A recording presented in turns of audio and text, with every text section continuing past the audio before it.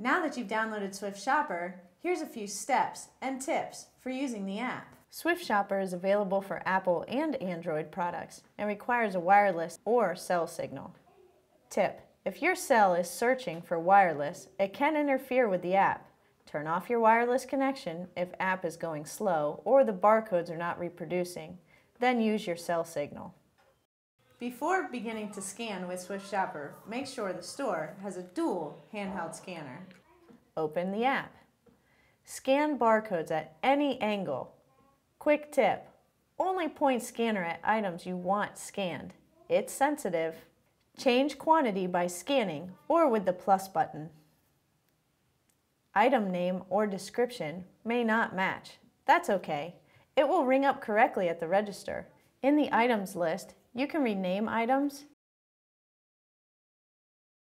change quantity, and delete items.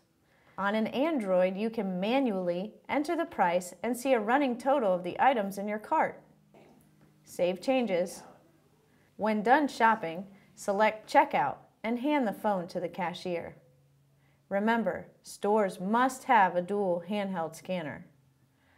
The cashier scans each barcode, swiping to the next barcode. Every other background is gray, so it's easy to see when you've moved to the next item. You can also see what number item you are scanning at the bottom of the screen. Checkout complete pops up when you swipe from the last item.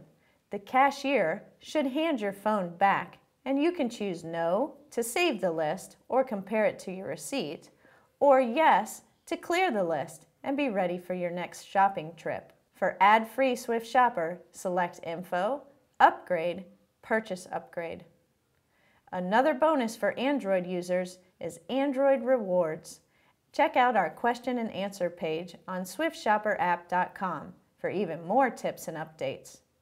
Swift Shopper, making checkout mobile.